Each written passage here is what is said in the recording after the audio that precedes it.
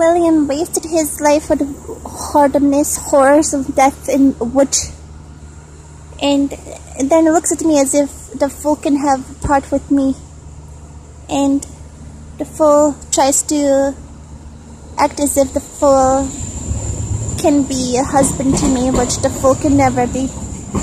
I don't ever will the fool for a husband. And I'm disgusted by William. He's a fallen prince, and I abhor the fool. Memza. I abhor. I want him to stop looking at me and thinking that I want him. I take photos, I make videos, and I say to whom creator wills to show them to. And that's all I want in the name of Yeshua. And that's all. If you look at it, that's it.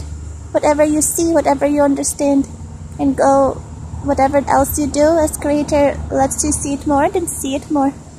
But you can never, William, think that you can be connect with me and pretend in any way to after wasting yourself with whoredomness, you want to what take from me some of my feelings for you. You got no feelings in me for yourself. And so be far from me in spirit and flesh. For Yahweh can kill you, Yahweh can paralyze you, Yeshua can fight. And I call Yeshua against you.